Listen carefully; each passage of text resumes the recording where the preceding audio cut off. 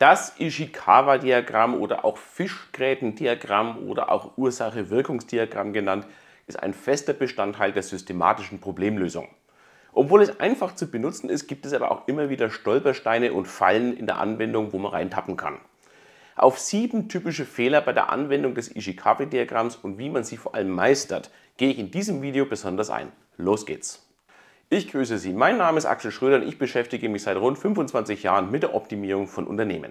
Das Ishikawa-Diagramm gehört zu den Standardwerkzeugen in der Problemanalyse und ist auf ganz, ganz vielen A3-Reports bereits in der Vorlage mit enthalten. Zum Thema A3-Report finden Sie hier noch ein Video, wem der Begriff vielleicht noch unbekannt ist. In diesem Video gehe ich aber auf die sieben häufigsten Stolpersteine bei der Anwendung des Ishikawa-Diagramms ein. Wer noch ein Basisvideo zum Thema Ishikawa-Diagramm selbst sucht, wie man es aufbaut und wie die einzelnen Dinge sind, der sollte sich hier nochmal dieses Basisvideo anschauen. Aber legen wir jetzt gleich los. Ein ganz typischer Fehler ist eine schwammige Problemformulierung, die man dann in den Kopf des Ishikawa-Diagramms reinschreibt. Wenn das Problem nicht präzise beschrieben ist, dann fällt es im Nachgang außerordentlich schwer, die richtige Ursache dafür zu finden. Die Folge sind dann mehr oder weniger begründete Vermutungen zu Ursachen und weiters verschwendete Ressourcen im Sinne von Arbeitszeit weil man sich und das Team unnötig lange mit irgendwelchen Scheingefechten beschäftigt. Also, wie erstellt man eine präzise Problemformulierung? Machen Sie eine Tabelle mit drei Spalten als Vorlage. In die erste Spalte finden Sie die typischen W-Fragen als Anregung und Trigger zum Nachdenken. In der zweiten Spalte tragen Sie dann die eingetretenen Fakten ein zu den jeweils passenden W-Fragen. Und in der dritten Spalte tragen Sie die Fakten ein, die hätten auftreten können, aber nicht aufgetreten sind. Also die Nicht-Fakten als Abgrenzung zum eigentlichen Problem. Damit das verständlicher wird, möchte ich es an einem Beispiel verdeutlichen. Eine schwammige Problemformulierung bei einem Pizzadienst wäre zum Beispiel, Kunden beschweren sich, dass die Pizza kalt geliefert wird. Halten wir mal ganz kurz inne und denken Sie selbst über mögliche Ursachen für dieses Problem nach. Bei dieser Problemformulierung kommen Sie sicher auf ganz, ganz viele denkbare Ursachen. Aber letztlich wird es ja dann ein Stochern im Nebel. Es fehlen einfach weitere Informationen, die das Problem eingrenzen.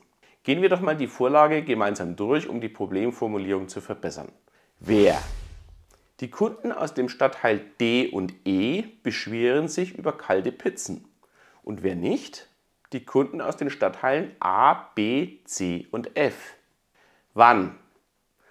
Seit dem 15. Mai beschweren sich die Kunden. Seit wann nicht? Vorher gab es keine Beschwerden. Wann genau? Die Beschwerden sind am Abend ab 20 Uhr, nicht tagsüber. Welches Objekt? Die Kunden beschweren sich nahezu ausschließlich über die Pizza mit Rohschinken. Die anderen Pizzen werden nicht bemängelt. Damit können wir das Problem wie folgt zusammenfassen. Die Kunden aus den Stadtteilen D und E beschweren sich seit dem 15. Mai über kalte Pizzen der Sorte Rohschinken, die nach 20 Uhr ausgeliefert werden.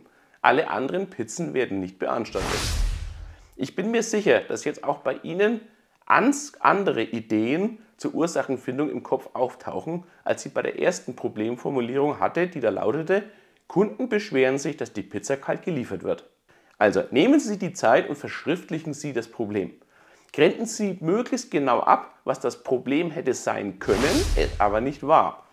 Das ist ein viel, viel besserer Start in das Ishikawa-Diagramm und die Wahrscheinlichkeit, dass Sie die wahre Ursache für das Problem finden, ist wesentlich höher.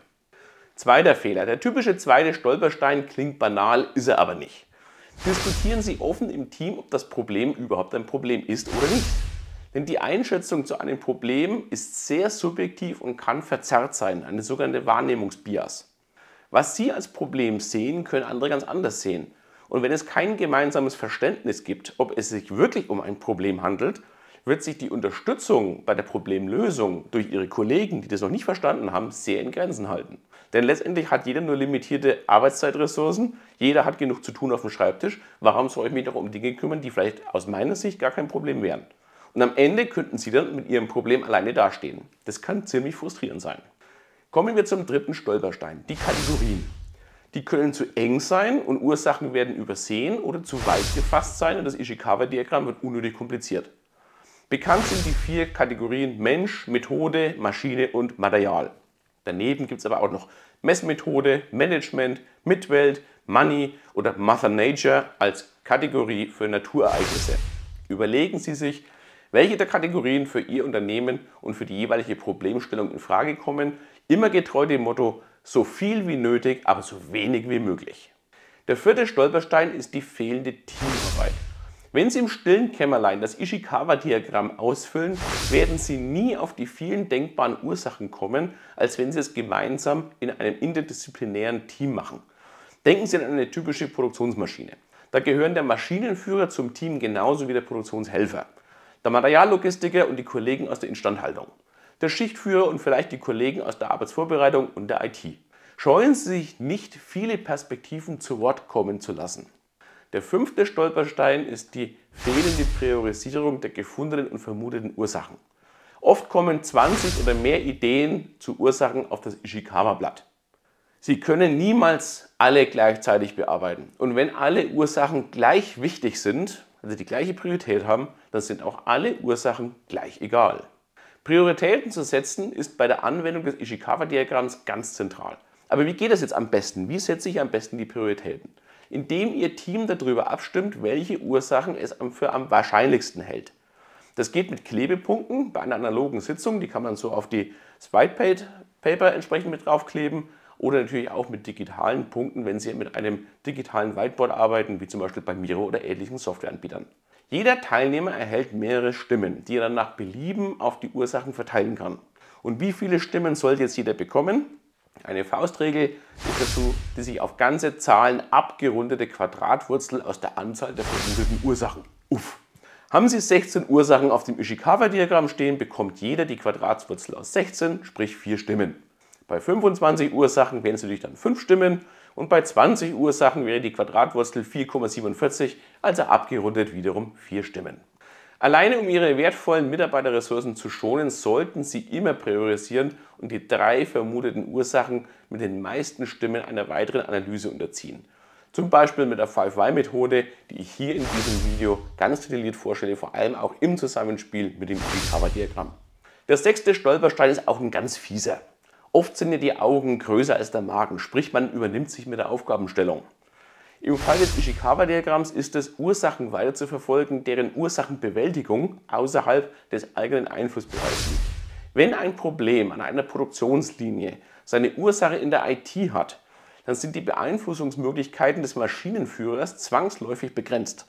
Das ist auch der Grund, warum Problemlösungstechniken im gesamten Unternehmen ganzheitlich angewendet werden müssen und eben nicht nur inselhaft in bestimmten Bereichen oder an einer bestimmten Maschine. Der siebte und aus meiner Sicht wichtigste Stolperstein ist die fehlende Validierung der gefundenen Lösung für das Problem. Was meine ich jetzt mit Validierung? Sie haben eine Ursache genauer untersucht und diese dann abgestellt. Prima, alles toll. Jetzt müsste ja auch eine messbare Verbesserung eingetreten sein. Wenn Sie das nicht beobachten können, dass die Verbesserung wirklich eingetreten ist, dann werden Sie wahrscheinlich nicht die richtige Ursache gefunden haben. Also das Problem muss beobachtbar und messbar sein. Stellen Sie bewusst den Ausgangszustand mit der Ursache wieder her und überprüfen Sie, ob das Problem wieder auftaucht. Stellen Sie das so wie so ein Schalter vor. Ursache aus, Problem weg. Ursache ein, Problem da. Und dadurch, dass Sie das jetzt kontrolliert testen, können Sie sich sicher sein, ob es wirklich die gefundene Ursache war oder eben nur ein dummer Zufall. Validieren Sie daher in jedem Fall Ihre Lösung. Sonst kommt Ihr Problem wieder auf Sie zurück. Und das ist meistens dann der Fall, wenn Sie es am wenigsten gebrauchen können. Welchen der sieben vorgestellten Stolperfallen fanden Sie es eigentlich am spannendsten? Schreiben Sie mir Ihre Meinung dazu gerne in die Kommentare. Und in diesem Sinne noch viel Erfolg mit dem Ishikawa-Diagramm und wir sehen uns im nächsten Video. Herzlichst, Ihr Axel Schröder.